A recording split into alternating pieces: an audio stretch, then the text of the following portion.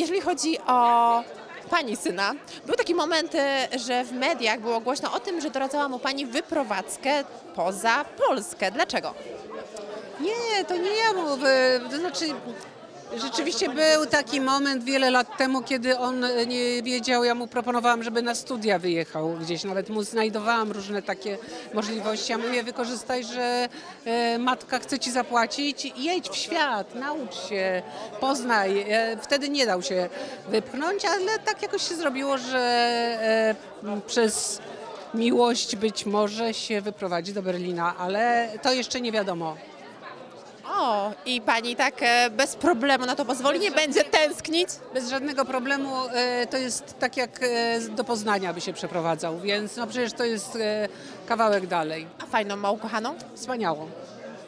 Jest pani gotowa na to, żeby być babcią? Ja już dawno jestem gotowa, oczywiście, że tak.